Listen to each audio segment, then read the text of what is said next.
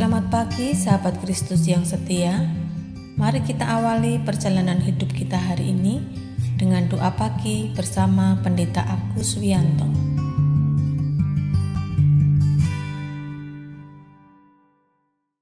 Selamat pagi sahabat Kristus yang setia. Selamat tahun baru 2024. Kita bersyukur kalau kita bisa berjumpa dalam doa pagi online di awal tahun 2024 Sebelum melanjutkan doa pagi ini, mari kita bersaat teduh sejenak. Mari kita berdoa. Allah Bapa yang pengasih, kami bersyukur kalau Tuhan mempertemukan kami secara online melalui doa pagi di awal tahun 2024 ini. Mengawali perjalanan hidup kami di tahun 2024 ini, kami ingin bersama merenungkan firman Tuhan untuk menjadi bekal bagi kehidupan kami dalam menjalani tahun 2024. Mohon Tuhan menolong kami dalam membaca dan mempergumulkan firman Tuhan, agar kami dapat memahaminya dengan baik. Tolonglah hambamu yang Tuhan percaya untuk menguraikan firman Tuhan. Mohon Tuhan urapi lidah bibirnya, agar hambamu dapat menguraikan firman Tuhan dengan baik dan benar seturut dengan kehendak Tuhan.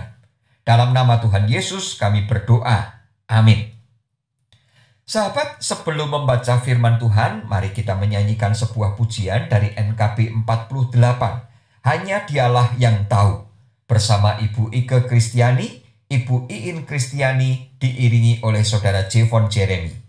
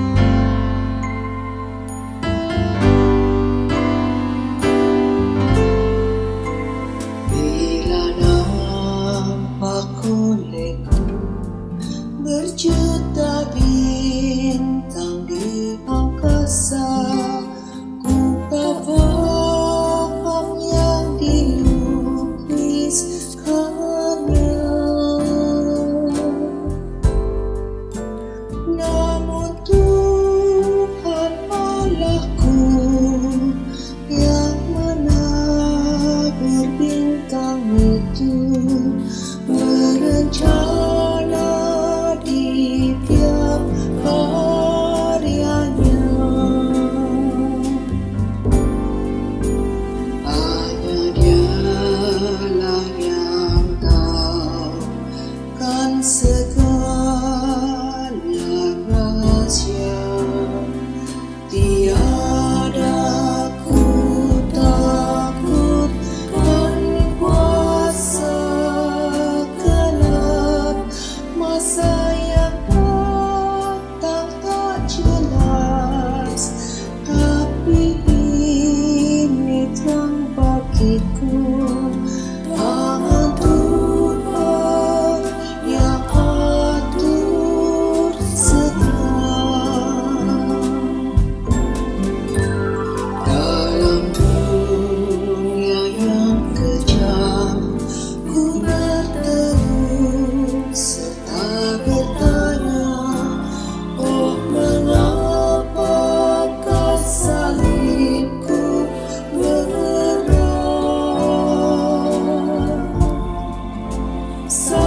tu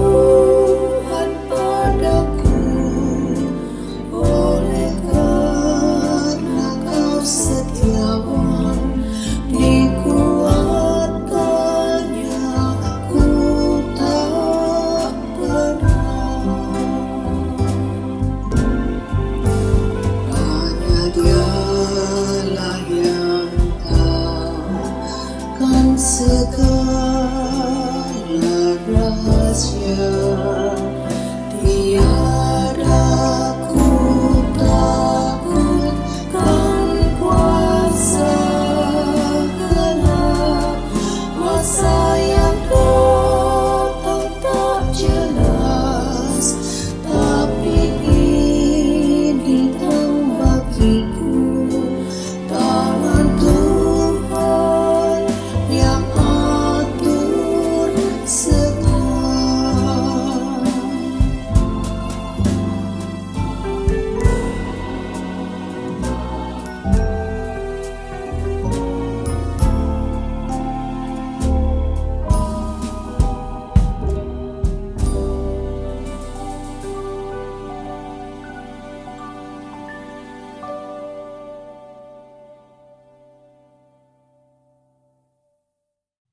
Sahabat, mari kita membaca firman Tuhan dari pengkhotbah 3 ayat 1 dan ayat 11. Firman Tuhan mengatakan demikian. Untuk segala sesuatu ada masanya. Untuk apa pun di bawah langit ada waktunya. Ayat 11. Ia membuat segala sesuatu indah pada waktunya. Bahkan ia memberikan kekekalan dalam hati mereka. Tetapi manusia tidak dapat menyalami pekerjaan yang dilakukan Allah dari awal sampai akhir. Demikianlah firman Tuhan, berbahagialah setiap orang yang membaca firman Tuhan, mempergumulkan, dan melakukan dalam kehidupannya setiap hari. Haleluya. Sahabat Kristus yang setia, ada orang yang menggambarkan kehidupan ini seperti air sungai yang mengalir. Semuanya berjalan terus-menerus tanpa henti. Setiap hari kita melalui detik demi detik, menit demi menit, dan jam demi jam. Setiap hari kita juga menjalani hari-hari yang kita lalui. Senin, Selasa, Rabu, Kamis, dan selanjutnya. Bulan berganti bulan, tahun berganti tahun. Hingga sekarang ini kita sudah memasuki tahun 2024. Namun, apakah semua hanya mengalir begitu saja? Apakah hidup yang kita lalui tidak ada pengalaman-pengalaman yang terjadi dalam hidup kita? Hidup ini sangat penuh dinamika. Kadang kita mengalami perjalanan hidup yang tenang-tenang. Semuanya lancar dan aman-aman saja. Namun, suatu saat kita bisa mengalami prahara karena tiba-tiba ada masalah besar yang datang yang kadang tidak kita duga sama sekali. Seperti misalnya ada bencana alam atau tiba-tiba orang yang kita kasihi sakit dan kemudian meninggal dunia. Sehingga membuat kita sangat terpukul atau kita mengalami pengalaman-pengalaman yang lain. Pada suatu saat yang lain kita mengalami kebahagiaan yang luar biasa karena Tuhan memberikan hadiah kepada kita seorang anak misalnya atau seorang cucu Mungkin kita mendapat kejutan karena mendapat kenaikan jabatan dalam perusahaan kita, atau kenaikan gaji, serta berbagai pengalaman yang lain.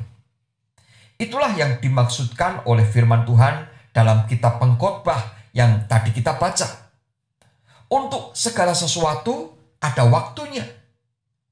Waktu yang kita jalani sangat dinamis. Tidak ada yang tetap. Bisa sangat fluktuatif kadang naik, kadang turun. Pada umumnya orang menggambarkan seperti roda yang berputar. Kadang posisi kita di bawah, tapi kadang di atas. Perubahan-perubahan semacam itu memang sering menjadi misteri bagi kita yang menjalani hidup ini. Kita sering kali bertanya-tanya, mengapa bisa terjadi seperti ini? Sahabat, Seringkali jalan kehidupan yang diberikan Tuhan memang tidak dapat kita pahami. Seperti yang dikatakan pengkhotbah pasal 3 ayat 11 tadi. Tetapi manusia tidak dapat menyelami pekerjaan yang dilakukan Allah dari awal sampai akhir. Sahabat, kita ini adalah manusia yang sangat terbatas. Kita tidak mungkin bisa menyelami pekerjaan dan semua rencana Allah atas kehidupan kita hingga akhir hidup kita. Itulah sebabnya kita sering kali bertanya-tanya tentang perjalanan hidup kita. Namun, apakah kita tidak dapat menjalani hidup yang penuh dengan misteri ini dengan baik? Kita bisa menjalani kehidupan kita dengan pertolongan Tuhan. Karena hanya dialah yang tahu seluruh perjalanan hidup kita. Oleh sebab itulah, tahun 2024 ini bisa kita jalani dengan baik. Kalau kita menjalaninya bersama dengan Tuhan. Kita bisa mendapatkan pengharapan yang baru bersama-sama dengan Tuhan. Namun, misteri hidup ini tetap tidak bisa kita pecahkan. Oleh sebab itu, sama seperti pada tahun 2023. Kita hanya bisa pasrah kepada pimpinan dan penyertaan Tuhan. Maka pada tahun 2024 ini kita juga harus pasrah kepada pimpinan dan penyertaan Tuhan. Misteri kehidupan ini hanya Tuhan yang tahu dan yang menguasainya. Karena itu, kita hanya bisa pasrah kepada pimpinan dan penyertaan Tuhan agar dapat menjalani tahun 2024 ini dengan harapan yang baru bersama dengan Tuhan. Sekalipun kita tidak tahu hari depan kita, namun kita dapat mempercayakan seluruh hidup kita kepada pimpinan dan penyertaan Tuhan. Karena Tuhanlah yang menjadikan segala sesuatu indah pada waktunya. Indahnya akan seperti apa? Keindahan yang dialami setiap orang tentu berbeda-beda.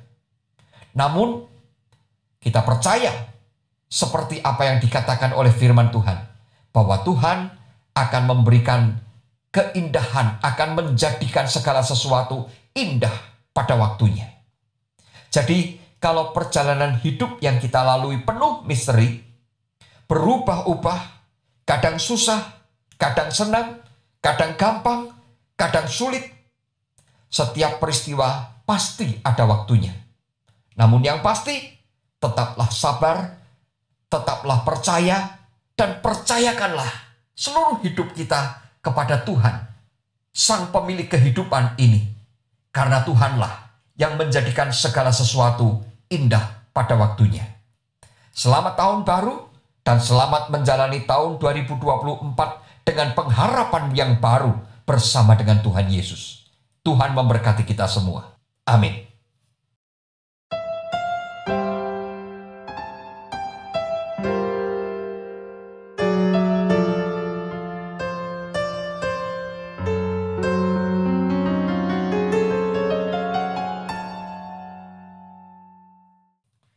Sahabat, mari kita bersatu hati untuk menaikkan doa syafaat. Bapak Surgawi, kami ingin mengawali perjalanan hidup kami di tahun 2024 ini bersama Tuhan. Kami sadar bahwa kami tidak tahu apa yang akan terjadi pada masa depan kami. Hanya Tuhan yang tahu masa depan kami. Karena itu, kami ingin berjalan bersama Tuhan dan mempercayakan seluruh hidup kami ke dalam pimpinan dan penyertaan Tuhan. Mohon Tuhan berkenan menyertai dan membimbing perjalanan hidup kami, agar kami selalu kuat, sabar, dan selalu berbahagia menjalani hidup bersama Tuhan. Ya Tuhan, perkenankan kami memohon pertolongan Tuhan untuk kehidupan bangsa dan negara kami, Indonesia. Bulan depan nanti, negara kami akan menyelenggarakan pemilu. Tolonglah kami, seluruh rakyat Indonesia. Berikanlah hikmat dan pimpinan ketika kami memilih calon pemimpin Indonesia.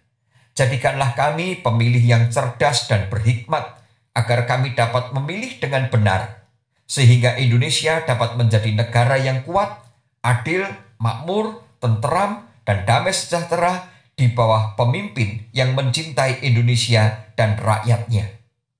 Ya Bapa, kami juga memohon untuk gerejamu GKI Tumapel. Mohon Tuhan menolong majelis jemaat komisi-komisi, dan segenap umatmu dalam mengelola seluruh persekutuan, kesaksian, dan pelayanan di GKI Tumapel sepanjang tahun 2024. Kiranya Tuhan memberikan semangat, hikmat, dan komitmen yang kuat dalam pelayanan kami, sehingga pelayanan GKI Tumapel dapat menjadi berkat bagi kota Malang. Akhirnya, kami menyerahkan seluruh perjalanan hidup kami hari ini ke dalam penyertaan Tuhan. Mohon Tuhan berkenan memberikan kesehatan, sukacita, dan rezeki untuk mencukupi kebutuhan hidup kami. Inilah doa kami yang kami mohon di dalam nama Tuhan Yesus. Amin.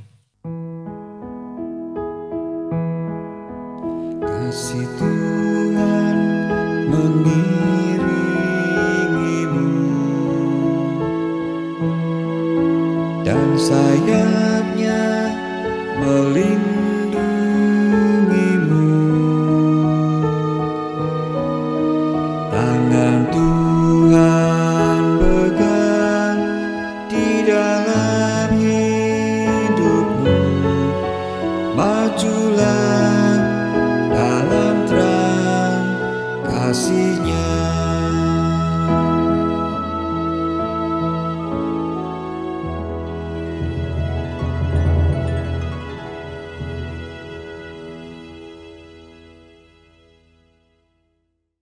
Sahabat, doa pagi telah selesai.